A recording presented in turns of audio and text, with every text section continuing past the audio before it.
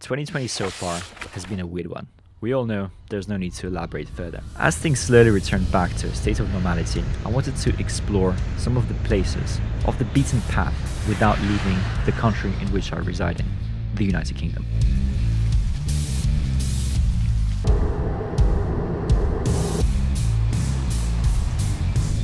Internet, meet my friend, Payman.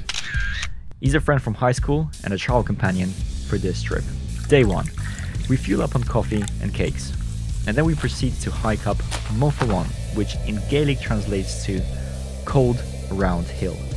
A description for which I wholeheartedly agree with. The elevation of this hill is 2,293 feet. It dominates the surrounding area and can be seen far out to sea.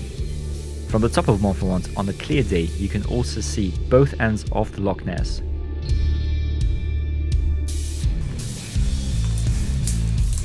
Day 2. Of course, you can't go and visit the Loch Ness without actually swimming in it.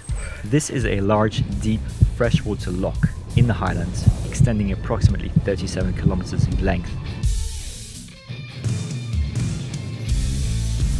The water temperature is a frigid 6 to 10 degrees Celsius all year round, so the best way is to warm up by a fire after you're done with your swim.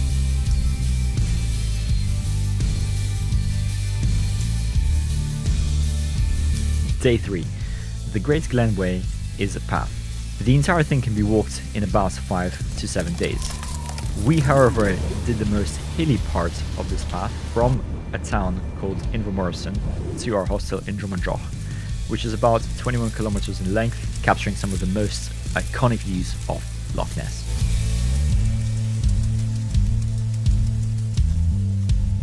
Day 4.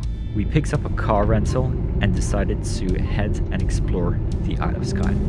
A few facts about the Isle of Skye. It is the second largest island in Scotland after Lewis and Harris.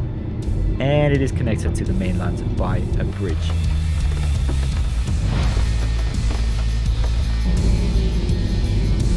On the Isle of Skye, we have also discovered the most amazing coffee in probably all of the UK as well.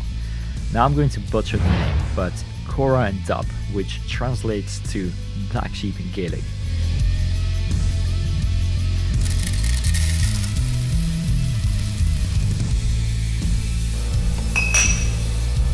Neist Point is the most westerly point of Skye, which also has a lighthouse which is over 100 years old stands 43 meters above sea level and can be seen up to 16 nautical miles offshore.